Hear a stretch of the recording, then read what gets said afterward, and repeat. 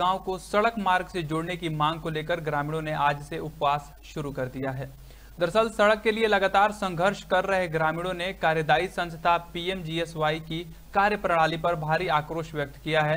साथ ही आक्रोश व्यक्त करते हुए रविवार को रैली निकालने के बाद क्रमिक अनशन भी शुरू किया, जिसमें पहले दिन अंकित भंडारी और शोभन सिंह क्रमिक उपवास पर बैठे। बता दें कि डूमक क्षेत्र के ग्रामीण लंबे समय से सड़क मांग की मांग को लेकर आंदोलन करते आ रहे हैं, लेकिन अभी तक कोई सकारात्मक पहल शासन प्रशासन द्वारा नहीं की गई है, जिसके चलते ग्रामीण अपने आप को ठगा महसूस कर रहे हैं। चमोली से संदीप कुमार की रिपोर्ट।